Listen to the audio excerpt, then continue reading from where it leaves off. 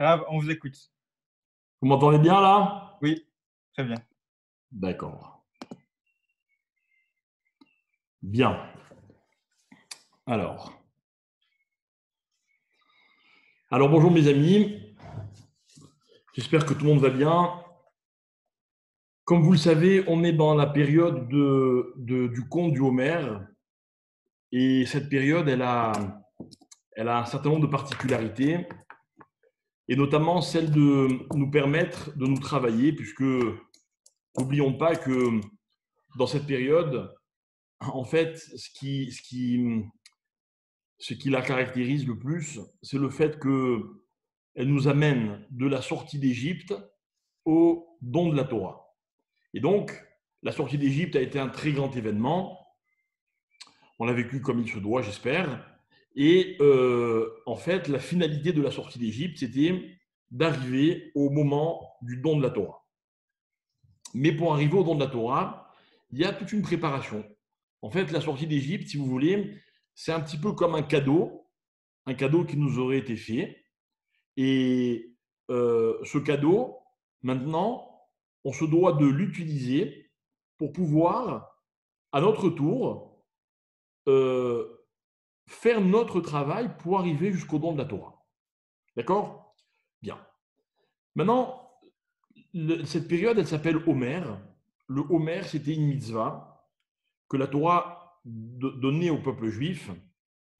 On dit même que c'est une des premières mitzvot, si ce n'est la première d'après certains, qu'il fallait accomplir en arrivant en Eretz Israël. Et cette mitzvah, elle consistait à quoi? En quoi? Elle consistait euh, en la chose suivante il fallait prélever les prémices de notre récolte et les offrir en sacrifice, donc en faire cadeau à Akadosh Baruch. Alors, de nos jours, et à part ça, excusez-moi, à part ça, au moment de cette période-là, puisque le Homer est tombé donc juste après Pessah, au moment de cette période-là, on allait compter également les 49 jours de, qui sont l'intervalle qui est entre le premier jour de Pessah et la fête de Shavuot. D'accord? La mitzvah du Homer, de nos jours, on n'a plus l'occasion de l'accomplir, mais c'était une très grande mitzvah. Et voilà que le Midrash, le Midrash Rabbah, sur la paracha de cette semaine, puisque comme par hasard, on en parle dans la paracha de cette semaine, du Homer, le Midrash nous rapporte les paroles de Rabbi Yehuda. Rabbi Yehuda Léolam altie mitzvata Omer kala be'emecha. Attention, Léolam, ça veut dire pour toujours, fais attention que la mitzvah du Homer ne soit pas littéralement légère à tes yeux. Ne prends pas à la légère cette mitzvah, car elle est importante. Le texte continue, toujours Rabbi Yehuda. Mitzvah ta Zacha Avram lirash et Eretz Kenan. Car, grâce à la mitzvah du Homer, Avram a mérité d'hériter de la terre d'Israël, de Eretz Kenan.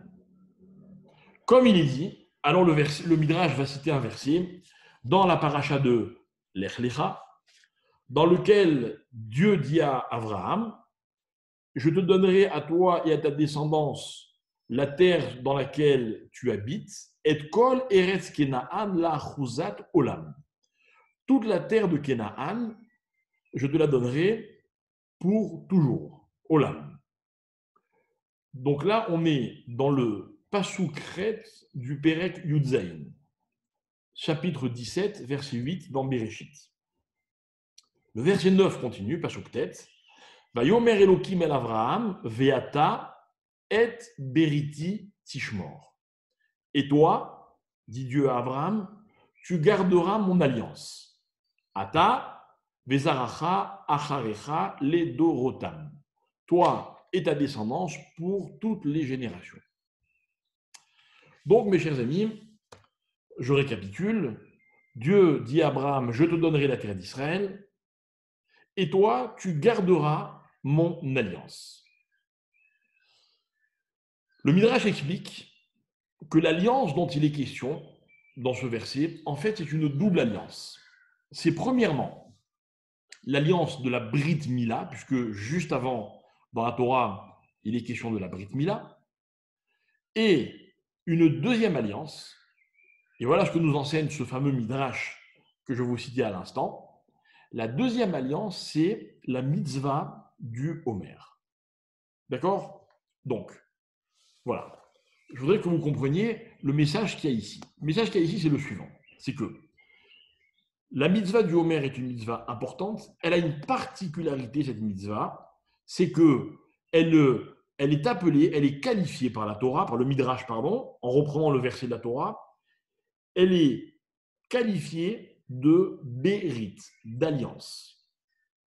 Il faut que vous sachiez que très rares sont les mitzvot qui sont appelés, alliances. Ok, vraiment, sont au nombre de quelques-unes.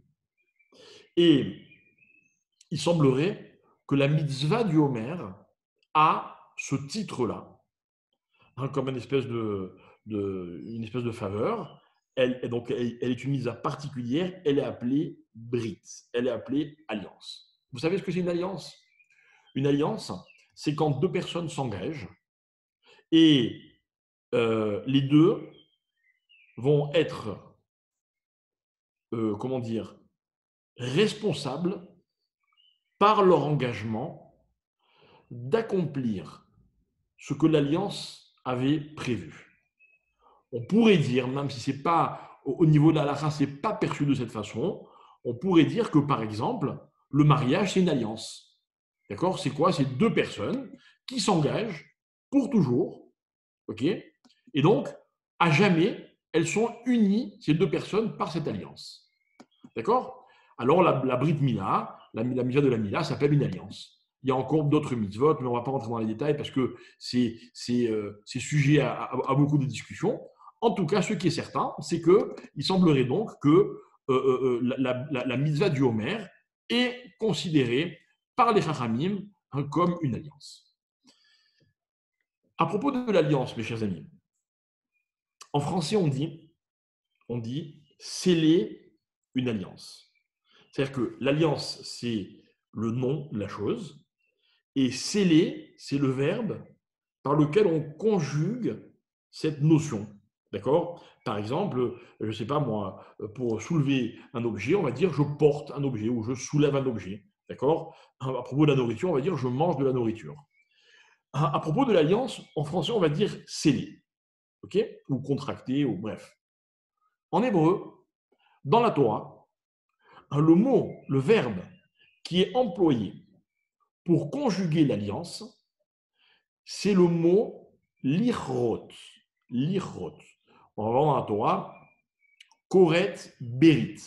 Lorsque, par exemple, Dieu a fait une alliance avec Noach, lorsqu'il est sorti de la Teva en lui promettant que plus jamais il détruirait le monde par le déluge, hein, là-bas, il a marqué, ils ont été koret berit. Koret, c'est donc le verbe que nous on va traduire en français vulgairement, on va traduire par sceller une alliance. Mais le mot correct, en réalité, dans, un autre contexte, c'est-à-dire que le sens étymologique de ce mot, c'est pas contracter une alliance ou sceller une alliance. Le mot correct, qu'est-ce qu'il veut dire? Il veut dire couper. Couper, enlever. Par exemple, il y a dans, parmi les sanctions prévues dans la Torah sur, à propos de certaines fautes, il y a ce qu'on appelle le karet. Qu'est-ce que veut dire karet? Quelqu'un qui ferait tel ou tel avéra, il serait littéralement retranché. Retranché. Les Haramim se posent la question suivante. Comment se fait-il que lorsqu'il s'agit d'une alliance, une alliance, en fait, c'est une dynamique dans laquelle chacun va donner à l'autre. Chacun va apporter à l'autre. Pourquoi? Dans une alliance, le verbe qui est employé, c'est le mot, c'est le verbe retrancher, couper, enlever. C'est-à-dire qu'il est, son sens est contraire au sens même de l'alliance. J'aurais pensé que quand on veut parler d'une alliance, on dise donner une alliance, par exemple. Puisque dans une alliance, on va chacun euh, apporter à l'autre. Donc, on aurait dû dire le mot donner, partager, ce que vous voulez. Pourquoi couper une alliance? Pourquoi retranchement? Et en fait, nos maîtres expliquent, je le tiens de mon propre maître, hein, Moshe Shapira, dont je m'inspire d'ailleurs pour ce cours, disait la chose suivante, en fait, en fait, une alliance n'est possible que quand chacun des protagonistes va retrancher une partie de lui-même au bénéfice de l'autre. Puisque justement, le principe d'une alliance, c'est de donner, de partager. Vous savez ce que ça veut dire donner? Donner, c'est que quand je vous donne un objet, dorénavant, il n'est plus jamais à moi. Vous savez, les enfants, ils adorent donner des jouets et très vite, ils regrettent. Ils veulent récupérer leurs jouets. Dans une alliance, ce n'est pas possible. Ce n'est pas possible. Il faut expliquer aux gens hein, qui contractent des alliances que quand ils ont contracté une alliance, c'est définitif. Hein, le sens même de cette démarche, c'est de donner à l'autre, donc de se séparer soi-même de quelque chose. Dorénavant, c'est à l'autre que ça appartient. Voilà ce que c'est Koret Berit. Donc, on va mettre de côté cette notion. On a compris que la mitzvah de Homer est considérée par Rabbi Yehuda dans le Midrash comme une alliance entre Hachem et le peuple juif, comme au même titre, par exemple, que la mitzvah de la Mila, qui est appelée Brit Mila. Ok? Bien. Alors, j'espère que jusque-là, c'est clair. On va passer à une autre idée, et au fur et à mesure, vous allez voir comment les choses vont euh, euh, s'imbriguer les unes dans les autres. Le Maharal de Prague, dans un ouvrage qui s'appelle le Or Hadash, va expliquer notamment l'idée suivante. Vous savez, à Kadosh Baruch Dieu, il est, impossible de le définir, il est impossible de, le, de le limiter. La seule chose qui nous est autorisée, nous les hommes, c'est d'exprimer, vous allez voir de quelle façon, la perception que nous avons de Dieu. J'explique, Dieu est ce qu'il est, et moi j'en ai ma perception. D'accord? Par exemple, vous parlez de quelqu'un et vous dites, tu es, il est gentil. Comment se fait-il que quelqu'un d'autre pourrait vous contredire en disant, ah bon, moi je le trouve très antipathique Eh bien en fait, peut-être que les deux sont vrais, toujours est-il que chacun exprime sa perception. Alors avec Hachem, c'est la même chose. On nous dit par exemple que Hachem porte plusieurs noms. Plusieurs noms. Par exemple, vous savez très bien que le nom Yud Ke Vav d'accord, Avaya, c'est le nom hein, qui exprime la miséricorde, la souplesse d'Akadosh Baruch Le nom Elohim, c'est celui qui désigne la rigueur, le digne d'Hachem. Mais je ne comprends pas, Hachem, il est rigueur ou il est rachamim, miséricorde? Ah, il est les deux, mais quoi Il est contradictoire? Non. En fait, en fonction des événements, en fonction des circonstances, l'homme a sa perception de Dieu. Et c'est homologué. Ça veut dire que nous, les hommes, c'est normal hein, qu'on perçoive Dieu, par exemple, chacun différemment. Il nous est arrivé à tous d'avoir des discussions. Ah, pour moi, Dieu, c'est ceci. Ah non, moi, voilà comment je vois les choses. Ah, voilà si, quel est le message d'Hachem. Ah, moi, je ne suis pas d'accord. Ok. Vous ouvrez un livre de Gemara dans le Talmud, tous les Rachamim discutent, sont jamais d'accord. Hein, c'est pas qu'ils sont l'un contre l'autre ou ils veulent apporter chacun quelque chose de différent. Non, ils ont chacun une perception. C'est comme ça que ça doit être. Alors le Maral de Prague dit la chose suivante, écoutez bien. Hein, il y a de la part de Dieu comme deux rôles bien distincts l'un de l'autre. Encore une fois, quand je parle de rôle, je parle de rôle par rapport à la perception humaine d'Akadosh Baruch Quels sont ces deux rôles? Et vous allez voir que ce que je vais vous expliquer va en fait nous permettre de toujours situer Hachem ou hein, par rapport à une attitude ou alors par rapport à l'autre attitude. Quelles sont ces deux attitudes? Le Maharal dit comme ça, Hachem il est, écoutez bien, il est soit boré, soit manhig. Je traduis, Hachem est soit créateur, boré, Bereshit bara, commencement Dieu a créé, soit manhig. Manhig, c'est un dirigeant. Donc, soit Dieu est créateur, soit Dieu est dirigeant. J'ai envie de dire, à mes yeux, à moi, il est tantôt ceci, tantôt cela. En fonction des événements de la vie, des fois je le vois comme un créateur, et des fois je le vois comme un dirigeant. En expliquant les deux notions, d'abord en expliquant l'une des deux, on va bien comprendre la deuxième. On va commencer par la première, enfin par la deuxième, pardon, par manille. C'est-à-dire quoi? Dirigeant. Un dirigeant, mes chers amis, on va donner un exemple, évidemment c'est une image. Par exemple, vous êtes sur un bateau, ok, et le bateau il est censé parcourir tout un, tout un, tout un chemin. Le bateau il va par exemple, je ne sais pas moi, de Marseille jusqu'à Tel Aviv. D'accord? Très bien. Dans ce bateau, pour que le bateau puisse aller d'un endroit à l'autre et qu'il puisse poursuivre sa route convenablement, bon, c'est-à-dire suivre sa trajectoire, j'ai besoin qu'il y ait un capitaine. Quel est le rôle du capitaine? Le rôle du capitaine, c'est de faire en sorte que le bateau, il aille ni à droite ni à gauche, qu'il avance, qu'il continue sur sa route pour arriver jusqu'à sa destination. En d'autres termes, le caractère de ce qu'on appelle manique, du dirigeant, c'est celui que l'on observe chez Akadosh Baruchou lorsqu'on a le sentiment que le monde fonctionne. Il fonctionne selon euh, alors une espèce de logique, une espèce de d'habitude. voyez? Hein, Je vais euh, euh, étoffer ce que je veux dire dans un instant. Mais ça, c'est manique. Maintenant, à l'inverse, qu'est-ce que c'est que, que Boré? Boré, c'est un créateur. C'est quoi une création? Une création, mes chers amis, c'est un quand il arrive dans le monde qu'un événement survienne et que cet événement nous semble complètement déconnecté de ce qui précédait. Vous voyez, par exemple, un miracle.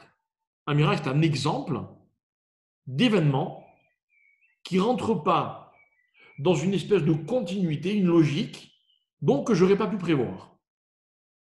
Et dans la vie, il y a plein d'événements comme cela. Il y a plein d'événements qui sont comme les maillons d'une chaîne, donc qui sont une succession d'événements qui se qui s'enchaînent de façon logique, compréhensible pour l'homme, mais il y en a aussi beaucoup qu'on ne peut pas expliquer. Alors, euh, Hein, évidemment, avec, euh, avec beaucoup d'humilité, parce que ce sont des notions qui sont très très vastes, mais hein, par exemple, la science, le regard d'un scientifique sur le monde, c'est un regard de, imaginons qu'un scientifique croit en Dieu, il verra Dieu comme un dirigeant qui assure le fonctionnement du monde selon un mécanisme, une logique que lui le scientifique va essayer de comprendre. Et donc, par exemple, quand vous allez voir un médecin, et eh bien le médecin vous dit, voilà, étant donné la situation de maintenant, voilà ce qui va se passer dans tant de temps. Voilà comment les choses vont évoluer. Et scientifiquement, il a raison. Ça veut dire qu'en en fait, dans la logique des choses, dans, à l'intérieur d'un mécanisme qui fonctionne depuis la nuit des temps, eh bien c'est vrai, voilà comment les choses sont censées se passer. Donc ça, c'est magnifique, parfait. J'accepte, j'admets, de toute façon, je n'ai pas le choix, c'est comme ça. Mais attention, il y a une autre possibilité, c'est que Dieu, des fois, il est boré. Boré. Boré, je vais vous expliquer, je vais vous citer une phrase hein, qui va nous permettre de, de, de comprendre ce que veut dire boré. On dit dans la prière du matin, juste avant, enfin un petit peu avant le schéma, quand on conclut la première des bénédictions qui précèdent le schéma. On dit Amechadesh Betuvo Becholium Tamid. On dit à Kadosh Baruchou, à sa grandeur, c'est que Tamid, tout le temps, il est Mechadesh Betuvo. C'est quoi Mechadesh? C'est-à-dire que il renouvelle les choses. Alors, je vous explique, nous, quand on va se coucher le soir, on est persuadé, convaincu que le lendemain matin, on va trouver telle et telle et telle chose. C'est normal, ça continue. Quand le matin, ou le soir, vous couchez en préparant vos vêtements, eh ben, si vous les trouvez, c'est parce que vous les avez préparés la veille. D'accord? Mais à Kadosh Baruch on peut aussi le percevoir différemment. Il est Mechadesh. Mais Chadesh, c'est-à-dire que hein, tout est nouveau. Imaginons que devant chez moi, devant ma fenêtre, il y a un arbre. Un arbre, et tous les matins, quand j'ouvre ma fenêtre, j'aime contempler cet arbre. Il est beau, il est magnifique. Il m'apporte de l'ombre, de la fraîcheur, euh, un panorama magnifique. Donc pour moi, il est toujours là. Donc tous les matins, c'est normal, puisque il était là la veille. Et il continue tous les jours à pousser cet arbre. Et voilà que je viens et je vous apporte un autre éclairage. Non, non. Cet arbre-là, tous les matins, il est Chadash. Parce que Hachem, il est Mechadesh Betuvo Becholium Tamid. Ça veut dire qu'en fait, constamment, c'est pas visible à l'œil nu, Hachem recrée l'arbre que vous pensez voir continuer de pousser tous les jours. Un enfant, on est persuadé que c'est normal, qu'à tant de semaines, ben, il va faire ceci, à tant de mois, il va dire cela, à tant d'années, il va faire et développer telle et telle capacité. Non, non, non, Tous les jours, c'est une nouvelle histoire. Mechadesh. Et puisqu'on est dans une période où malheureusement, on est très inquiet pour beaucoup de malades, encore beaucoup trop, il faut savoir que dans ce même texte de la prière que je viens de citer, on parle de la, des capacités qu'a Hachem de guérir le monde. Et vous savez comment c'est écrit, rappelez-vous? Il y a marqué Boré Refouot. Akadosh crée des remèdes, des guérisons. Hein, il crée des solutions. Et ce qui est magnifique, c'est qu'en fait, on se rend compte que selon la perception de, des Chachamim qui ont rédigé ce, rédigé ce texte, eh bien, la guérison, est une création.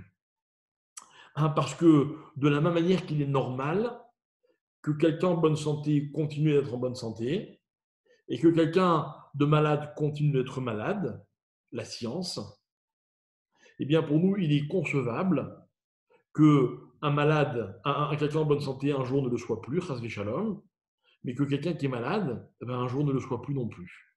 Et ce sera une bria, une création ce sera Hadash.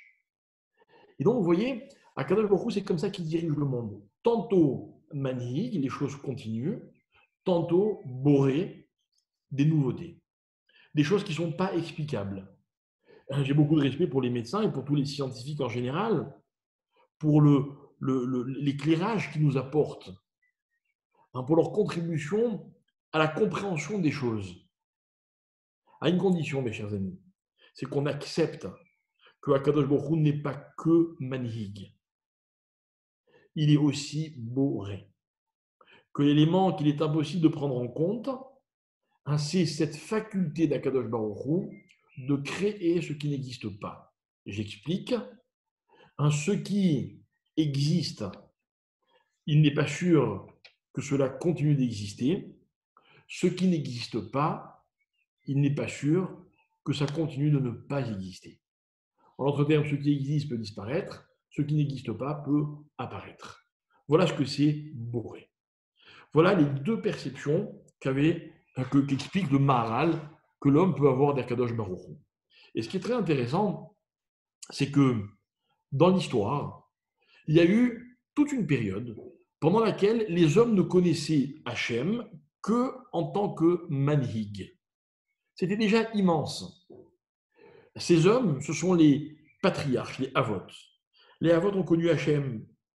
Rappelez-vous l'histoire de Abraham, il cherche qui dirige le monde, qui permet au monde de fonctionner? Les patriarches observent le monde fonctionner et ils sont à la recherche de celui grâce à qui le monde fonctionne. Et puis après, on va se retrouver en Égypte. Et un jour, on sort d'Égypte. Alors Hachem fait une promesse à Moshe en lui disant Va, et délivre-les. Et malheureusement, ça ne se passe pas du tout comme ça. Moshe va voir Pharaon, et puis au lieu de les libérer, eh bien, il leur ajoute une charge de travail. Donc Moshe était perturbé, il dit, Hachem, je ne comprends pas, tu m'avais promis. Qu'est-ce que dit Hachem à Moshe? Il dit, tu sais, jusqu'à présent, on m'a connu sous un certain nom, Kel Shakai. À partir de maintenant, vous allez me connaître sous un autre nom, Yud Kevavke. Yud Kevavke, c'est la capacité invisible par l'homme, qu'a Akadosh Baruch de créer des nouvelles choses. Et en fait, la sortie d'Égypte est une création. Hein, pourquoi c'est une création? Parce que on était en Égypte. Ça aurait dû continuer. On ne se sauvait pas d'Égypte. Alors, on va expliquer qu'est-ce qui a été créé à ce moment-là. Et en fait, il faut comprendre, mes chers amis, que hein, la notion de galoute que nous avons connue en Égypte, elle implique un certain nombre de choses. Des choses, quand on est à l'intérieur de ce phénomène, de ces phénomènes, on a l'impression que ça ne pourra jamais se terminer. Hein, je, je vais vous citer euh, un enseignement et vous allez comprendre de quoi je parle et surtout, malheureusement, on va réaliser que aujourd'hui, à l'heure à laquelle je vous parle, même en 2020, on est un peu dans cette situation. Alors, l'enseignement nous vient avec, euh, encore une fois, beaucoup d'humilité, parce que répéter ces enseignements, c'est très prétentieux, mais j'espère être fidèle à ce que euh, le, notre maître voulait dire, et surtout hein, la façon dont mon Rav, le Rav Shapira, les a expliqués. C'est l'enseignement, un enseignement du Harizal. Le Harizal, dans un ouvrage qui s'appelle Drouché Sfirat Omer, explique que l'exil implique trois choses. Donc, ça veut dire qu'il y a trois propriétés qui sont inhérentes à l'exil. La première, c'est la servitude. Dans un instant, j'explique. La deuxième, c'est, alors en hébreu, servitude, c'est shibud. La deuxième en hébreu, c'est akira mimakom. C'est quand on est géographiquement déplacé. Donc, c'est quand un élément se retrouve hors de son contexte. Le troisième élément de l'exil, c'est pisour, c'est quand on est disséminé, éparpillé. Alors on va expliquer. Hein, d'abord, qu'est-ce que c'est que la servitude ou l'asservissement? Hein, C'est quand un homme, écoutez bien, n'est pas libre soit de ses actes, soit de ses pensées. Et voilà pourquoi je vous disais à l'instant que c'est très actuel. Pourquoi très actuel? Parce que jusqu'à, je ne parle pas maintenant de la crise dans laquelle nous nous, trouvons, mais euh, euh, juste avant, on avait souvent l'impression qu'on était libre de nos mouvements. Mais en fait, on était dans un engrenage. Et surtout, et surtout le, le monde environnant nous empêche bien souvent d'être autonome dans notre réflexion. Un homme libre, va-t-on expliquer un peu plus tard, c'est une personne qui est capable d'initier une aspiration et qui est libre de la mettre en application. Donc, je répète, capable d'initier une aspiration hein, et en mesure de la mettre en application. Voyez, on a tous, tous des, aspirations, on a des rêves, on aimerait devenir ceci ou cela. Hein, sommes-nous capables d'appliquer hein, ces projets que nous avons? Mais d'abord, est-ce qu'on est capable d'avoir nos propres projets? Ne vit-on pas dans un monde dans lequel les, contingences nous imposent une façon de réfléchir, de raisonner, et donc hein, on nous prive d'une certaine autonomie hein, Parce que finalement, pouvoir rêver, c'est un luxe extraordinaire. C'est celui qui appartient à ceux qui sont libres de leurs rêves, de leurs aspirations. Alors l'esclavage, c'est pas seulement quand on est frappé avec un fouet et qu'on est condamné à construire des pyramides, mais c'est aussi quand on n'est pas capable d'avoir des aspirations et encore moins de les mettre en application. Ensuite, il y avait le déplacement géographique. Le déplacement géographique, mes chers amis, c'est quand, euh, hein, les hommes ou les éléments se retrouvent hors contexte. C'est-à-dire, par exemple, c'est un homme qui voudrait vivre dans un pays et puis il s'y trouve pas. Hein, c'est aussi quelqu'un qui, par exemple, se retrouve dans un hôpital, que Dieu nous en préserve. Il aimerait tellement rentrer chez lui, c'est pas son élément. Quelqu'un qui serait emprisonné et qui voudrait juste pouvoir rentrer chez lui, mais c'est pas possible. C'est quelqu'un qui se retrouve dans une situation, dans, une, dans un environnement avec des gens autour de lui qui ne lui correspondent pas. Il n'est pas dans son élément. Il est en exil. En tout cas, selon le deuxième la deuxième caractéristique de l'exil. Et enfin, la troisième caractéristique, c'est pisour. Pisour, c'est quand on est malheureusement séparé. Vous voyez, j'ai la chance d'habiter en Israël, mais il y a tellement de gens ici qui me manquent, que j'aurais voulu voir en Israël aussi. J'aurais voulu qu'on soit ensemble, mais ce n'est pas le cas. Donc on est tous en exil. En exil, c'est quand dans une famille, euh, ben, on ne peut pas être ensemble Moi, j'ai l'impression, à chaque fois que je pars de chez moi et que mes enfants me disent Papa, où tu vas? Que quelque part, on est dans une situation d'exil. Alors, évidemment, ce sont des mots d'enfant. Mais ah, c'est vrai, on aimerait tous rester ensemble. Vous savez, par rapport au confinement, hein, on m'a demandé ce que j'en pensais. J'ai dit une phrase qui m'est sortie du cœur. J'ai dit Au début, on s'adapte, puis on finit par s'y faire. C'est vrai qu'au début, il a fallu s'adapter. Et puis finalement, on se rend compte que ben, être chez nous, avec nos proches, évidemment, hein, si on a la chance d'en avoir, il faut mesurer cette chance-là. Ben, quelque part, c'est pas tout à fait être en exil, quoi. Bon, alors l'exil, c'est pas que ça, mais je pense que vous avez compris l'idée. Donc, la servitude, le, déplacement géographique et le fait d'être séparé, disséminé, éparpillé. Voilà ce que nous explique le Harizal. Mais le Harizal va encore plus loin. Il va dire, en fait, tout ça, tous les peuples de la Terre peuvent le ressentir. Ce que je viens de dire, c'est universel. C'est une idée qui, qui, qui, euh, hein, qui correspond à n'importe qui. Mais il y a encore une dimension. Dans l'exil du peuple juif, une dimension, mes chers amis, qui est dramatique. Cette dimension, hein, regardez comment le Harizal l'exprime. Il dit c'est quand, aux yeux des nations, il est possible de verser le sang des Juifs. C'est-à-dire, vous comprenez, ça ne devrait, pas, devrait pas exister. On ne devrait pas se dire qu'on peut tuer des Juifs. Et pourtant, dans tous les exils, il y a toujours eu des hommes pour dire les Juifs, hein, il faut les éliminer. Évidemment, hein, si on ne chercher pas très loin, que ce soit au travers des attentats, que ce soit en 39-45, que ce soit la période des croisades ou que ce soit en, Égypte. On a tué des juifs. En fait, l'expression, elle est très forte. Hein, c'est la possibilité, l'ishpor d'âme, verser le sang. Vous savez ce que c'est verser le sang?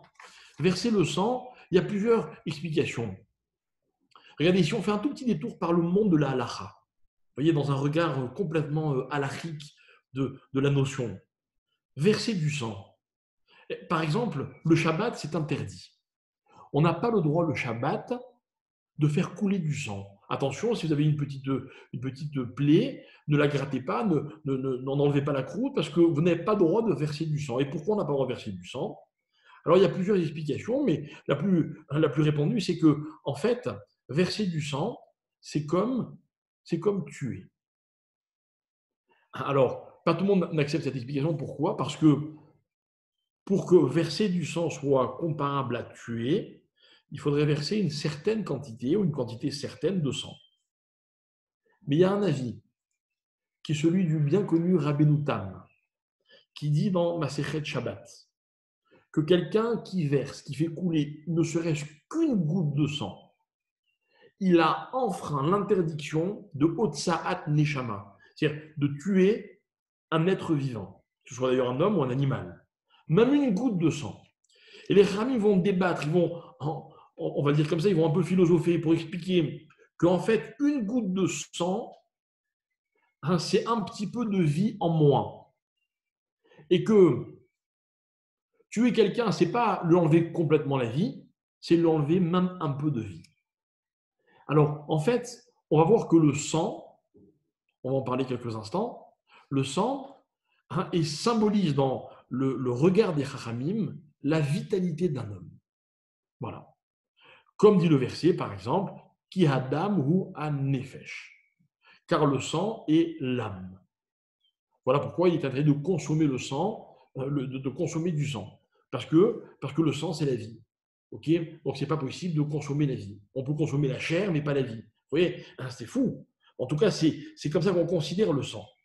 Alors, mes chers amis, récapitulons le, Harizal parlait de trois notions propres à l'exil, mais surtout d'une quatrième qui nous concerne à nous, le peuple juif, c'est que pendant l'exil, le sang des juifs peut être versé. Pourquoi est-ce si grave? À part le fait que malheureusement, ça met des vies en danger. Hein? Alors l'idée, mes chers amis, écoutez bien, c'est que lorsque Dieu a créé l'homme, il l'a appelé Adam. Adam. Adam, c'est Aleph, et le mot Dam. Dam, c'est le sang. Aleph, c'est quoi? On va nous expliquer que, en fait, dans le mot Adam, il y a en filigrane les deux composants de la vie de l'homme, ce qui permet à l'homme de vivre. On va commencer par le composant, j'allais dire biologique, physique, c'est le sang. Pourquoi juste le sang? Pourquoi pas le cœur ou le, cerveau?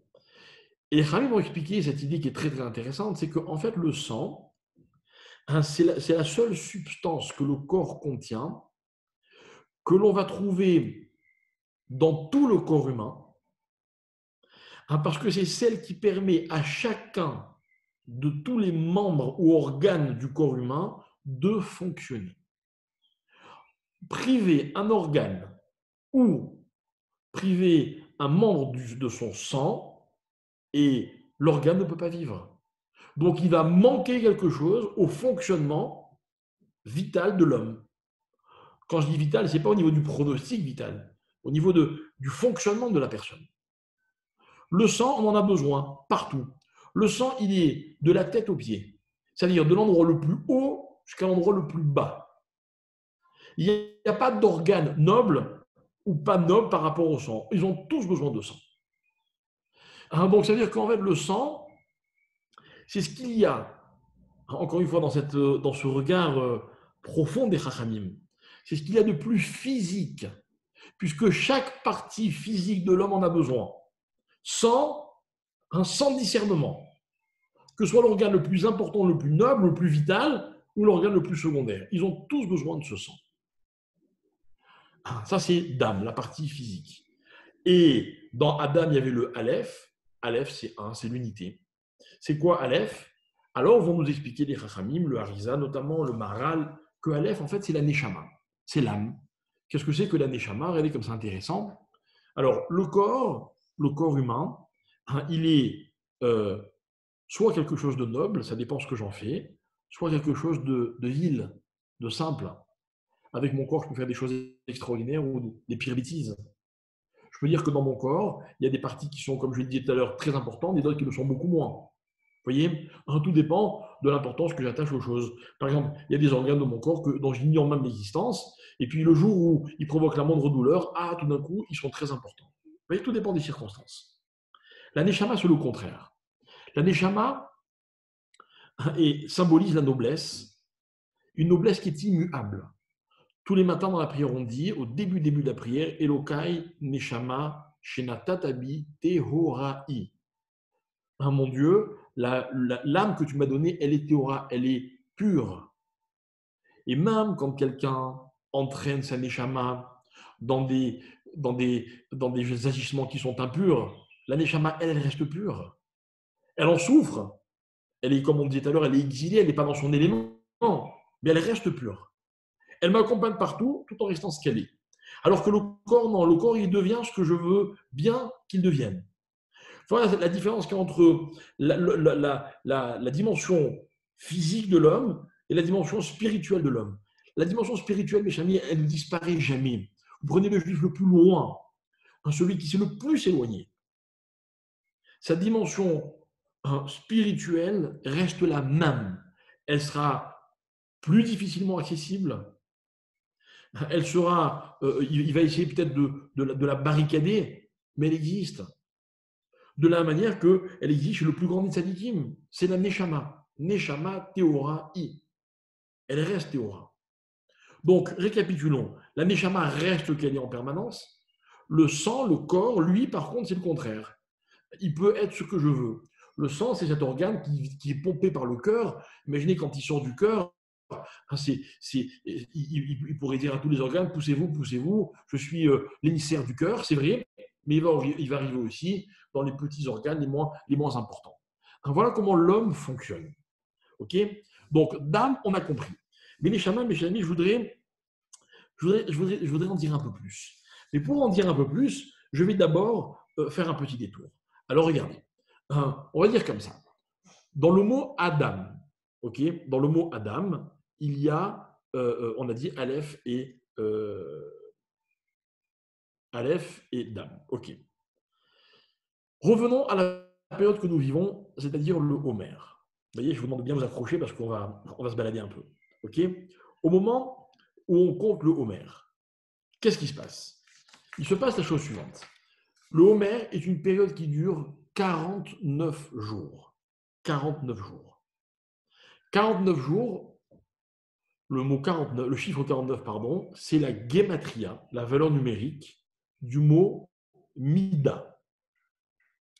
Tout le monde sait ce que c'est qu'une mida. Une mida, c'est, euh, vulgairement, on appelle ça une qualité mais ça peut être une qualité positive ou une qualité négative. ce sont euh, des, des, des, propriétés qu'a l'homme. Par exemple, les c'est que j'ai l'amida de la générosité, j'ai l'amida de la patience, j'ai l'amida de l'humilité. D'accord? Alors c'est vrai, on est tous un peu généreux, un peu patients, un peu humbles, mais on a aussi malheureusement l'amida de la colère, l'amida de l'orgueil, l'amida de l'égoïsme. Vous voyez, on, a plein de midotes, plein, plein, plein. Et l'homme doit composer avec ses midotes. Et en fait, 49 jours, valeur numérique mida, parce que l'homme, dans ce parcours qu'il amène de la sortie d'Égypte jusqu'à la disparition de l'exil, cette nouvelle réalité, là où on découvre que Dieu est boré, jusqu'à le don de la Torah, l'homme doit faire un travail sur lui-même, un travail dans ses midotes. Il faut que l'homme travaille à ses qualités.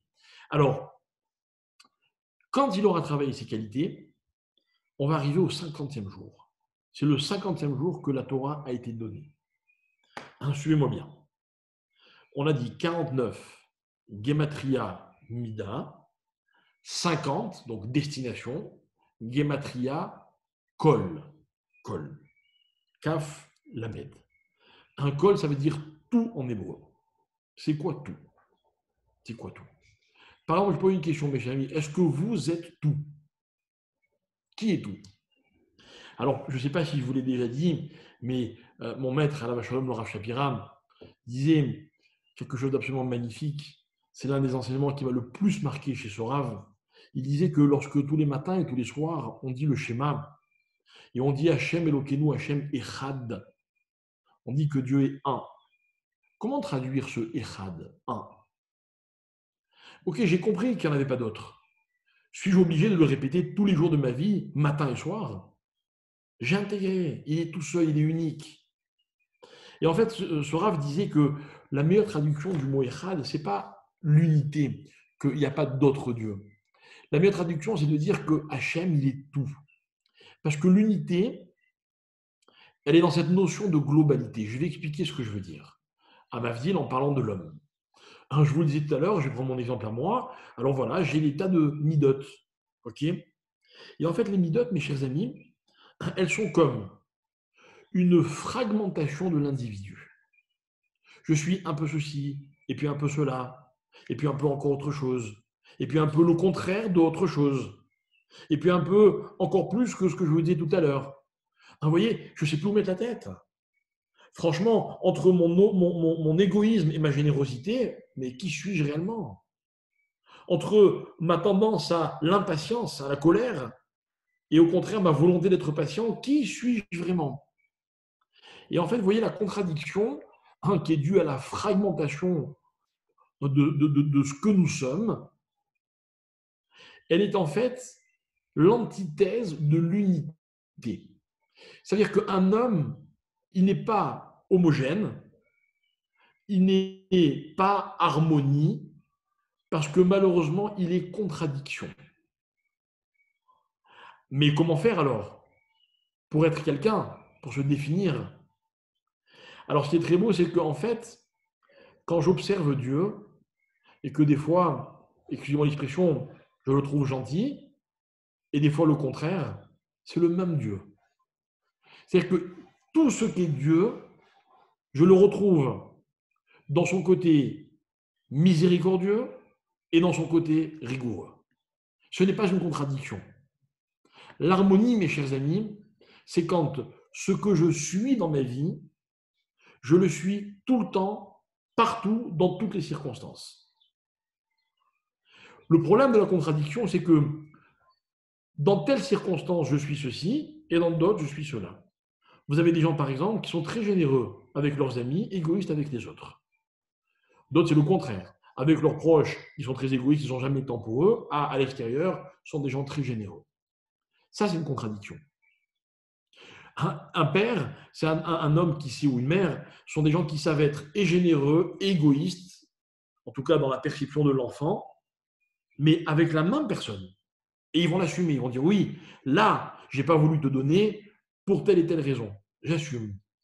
Ah, c'est ce qu'on appelle l'harmonie. L'harmonie, c'est colle. L'harmonie, c'est quand tout ce que je suis, tous ces fragments font de moi une personnalité. Regardez, attention qu'on ne se trompe pas. Quand on arrive à Kippour et que dans la prière de Kippour, on demande à Dieu de nous exaucer, de nous pardonner, la façon dont on le dit, je vais vous dire, je vais vous dévoiler quels sont les mots que moi j'emploie, en tout cas au niveau de mes intentions, peut-être que ce sont les mêmes que vous. Mais moi, ce que je dis à Dieu, je, je, je, tente chaque année comme un espèce de marché. Je dis à Dieu, ok, c'est vrai, voilà, j'ai fait des fautes, c'est vrai. Mais hein, je ne suis pas celui qui a fauté. En fait, moi, je suis quelqu'un d'autre, mais malheureusement, il m'est arrivé de fauter. En fait, j'ai des défauts, mais je ne suis pas l'homme de ces défauts. Non, je suis quelqu'un d'autre, mais il m'arrive malheureusement de succomber à mes défauts. Vous voyez, hein, comme s'il y avait une fragmentation de ce que je suis. Donc ça, c'est l'antithèse de Col. Je rêve d'un kippour où je peux dire à Dieu, voilà, je suis tout ce que j'ai fait dans l'année qui est passée. Et avec ça, je te demande de me juger. Vous imaginez le rêve? Ce serait Col. Ce serait un homme qui est tout, c'est-à-dire qui incarne tout ce qu'il est tout le temps, dans toutes circonstances.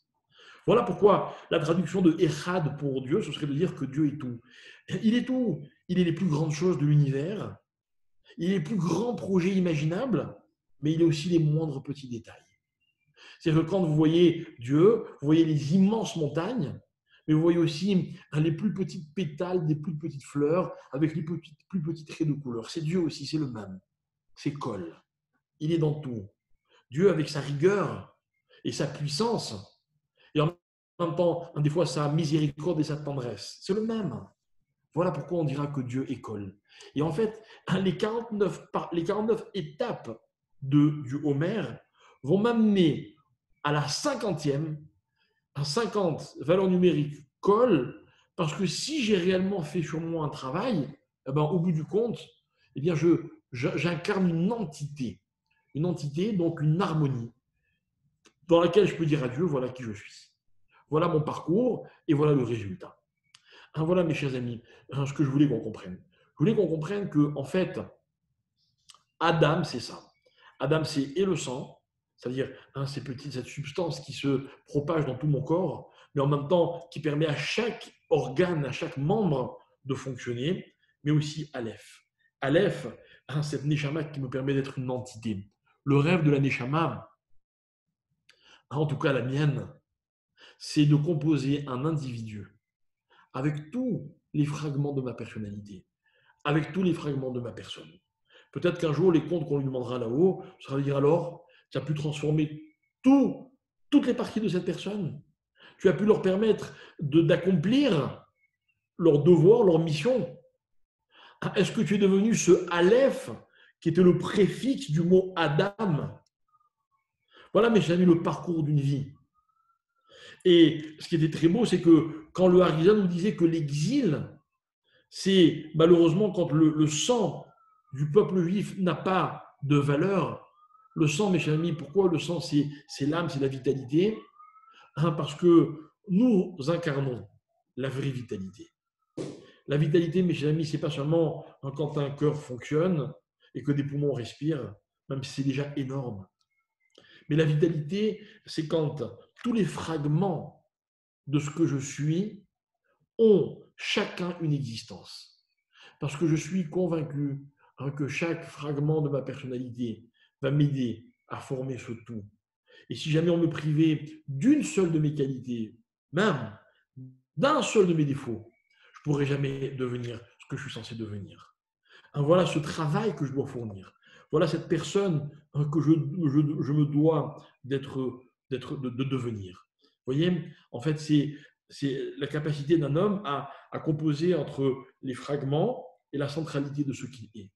Hein, c'est ça créer une harmonie quand on est capable de réunir tout ça, alors on a, on a véritablement réalisé un projet.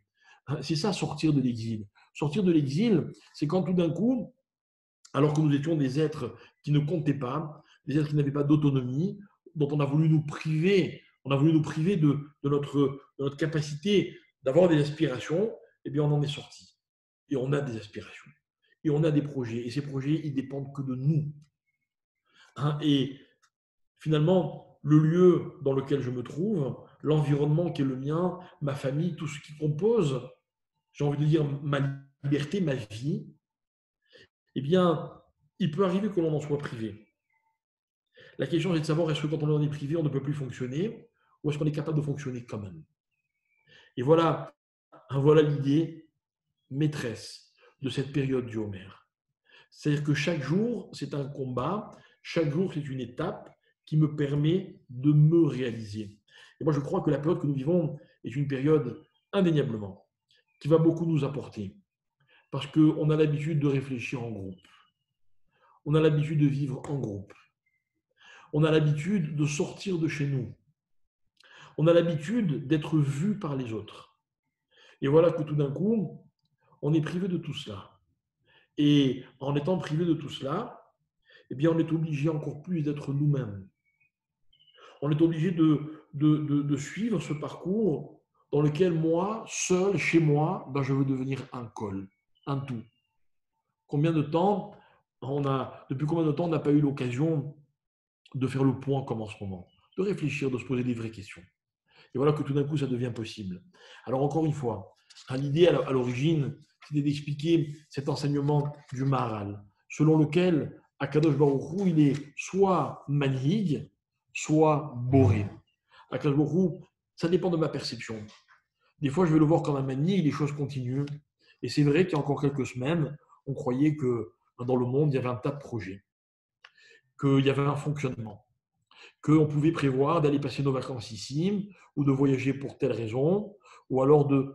Et puis tout d'un coup, eh ben, tout ce train-train, tout cet enchaînement s'est interrompu complètement. Je ne suis pas prophète, je ne suis même pas un sage, mais je crois ne pas me tromper en vous disant que indéniablement le message, c'est qu'il faut qu'on voit Akadosh Baruch comme un boré comme un créateur, comme quelqu'un qui, enfin quelqu'un, hein, comme celui qui euh, crée les événements indépendamment de ce qui a précédé et indépendamment de ce qui va suivre. Que finalement, à chaque instant, je me rends compte que je ne peux rien prévoir. Que, Baruch Hashem, on a entendu que des malades qui étaient dans des situations désespérées ont guéri. Et puis d'autres, malheureusement, on avait de l'espoir et on nous avait même laissé entrevoir que c'était en train de s'arranger, s'améliorer. Et puis malheureusement, ça s'est dégradé d'un coup. Et puis, on est arrivé à des catastrophes. C'est quoi ça, mes chers amis? C'est quoi? Moi, j'aime pas quand un médecin dit on ne sait pas. Mais en même temps, j'ai envie de lui dire alors, alors on, est tous pareils.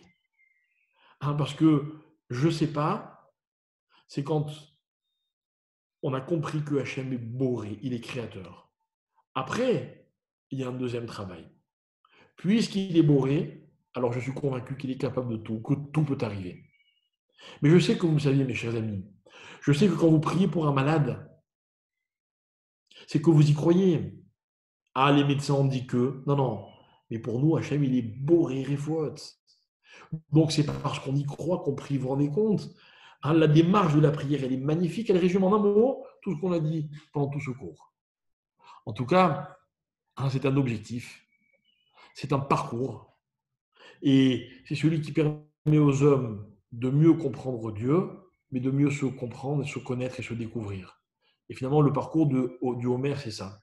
C'est que étape après étape, en réparant ou en revoyant tel ou tel un petit recoin de ma vie ou de ma personnalité, je me rends compte que en voyant globalement ce que je suis, eh bien, je suis cet univers, je suis cet être humain qui aurait pu être ridiculement petit, mais qui tout d'un coup va devenir capable de recevoir la Torah. Rien que ça, hein, ça devrait être extrêmement prétentieux. Pourtant, c'est une réalité. Une réalité grâce au travail que je fais sur moi-même, grâce à ma capacité de réaliser que Akadosh Baruch il n'est pas seulement manhig, il est aussi boré. Qu'on se comprenne bien. Finalement, dans la réalité, il n'est pas ou l'un ou l'autre, mais il est précisément les deux. Hein, voilà pourquoi nous allons nous arrêter maintenant, hein, parce que ce cours pourrait continuer pendant des heures en, enchaînant les idées hein, qui en découlent. Et vous savez, quand je donne cours, pour le plus dur, c'est de m'arrêter. parce qu'au fur et à mesure qu'on évoque des, choses aussi, aussi profondes, il y a tellement de choses qui nous viennent à l'esprit, tellement de, connexions qu'on pourrait créer. Mais je crois que ce qui compte, c'est qu'on comprenne bien les notions de base, les notions sur lesquelles on pourra travailler, et qui seront des, matière à réflexion. Et je voudrais vous remercier euh, pour votre attention et souhaiter que ce cours soit, Bezrat Hashem, dédié à la mémoire de tous les malades et pour que Bezrat Hashem en entende de très bonnes nouvelles, comme je suis sûr que ce sera le cas très bientôt. Voilà, merci beaucoup.